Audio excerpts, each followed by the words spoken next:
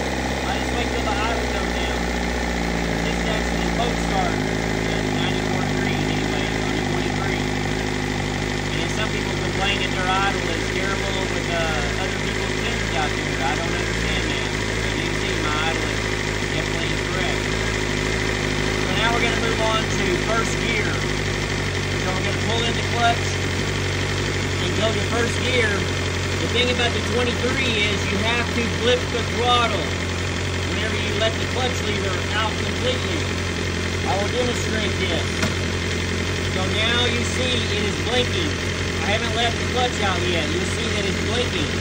When I release the clutch, it may or may not stop blinking until I blip the throttle. So here we go. There you go, it's still blinking on the 23. Now watch when I blip the throttle. You see there? Now the first gear is not blinking. Now I'm going to shift the second gear. I must pull in the clutch in order to shift to second gear. Now you see that it is blinking. Now I'm going to let out on the clutch and you're going to see it's going to continue to blink. The 23 does not automatically set in 10 or 15 seconds like it used to. You have to blip the throttle in order for it to set on the 23. Totally different than 22, 22. Now we're going to move to third gear. And again, before I let the clutch out, you see it's blinking. I let the clutch out. It's still blinking. It's not going to stop blinking until I blip the throttle. I can sit here for 30 seconds and it's still not going to stop blinking until I blip the throttle. As you can see, now it has quit since I blipped the throttle. Now we're going to go to fourth gear. And I just let the clutch out. And you can see it's blinking. And it's going to blink and blink and blink and blink until I blip the throttle on the 23. Now you can see it cleared it. I'm blipping the throttle. Now this, same way, blinking. Let the clutch out. Move over to the throttle. And as you can see, that's it. Six gear. Same way. Let out on the clutch. Blinking. Lift the throttle. All the gears are now set on this 23, but I'm going to go ahead and downshift. Five, four, three,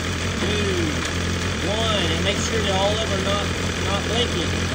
Neutral never blinks, unfortunately. There we go. Neutral never blinks.